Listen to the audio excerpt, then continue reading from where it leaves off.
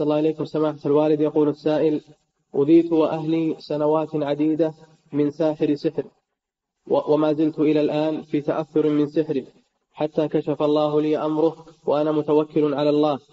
كما قال جل وعلا أليس الله بكاف عبده؟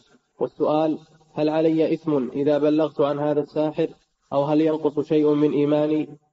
أول شيء ما هو كل شيء سحر الأمراض كثيرة قد يكون ما أصابك مرض من الأمراض ما هو سحر لكن إذا تأكدت أنه سحر وعرفت الساحر والساحر مستمر يسحر الناس عليك أن تبلغ. أما إذا كان قد ترك السحر وتاب منه فلا تبلغ عنه.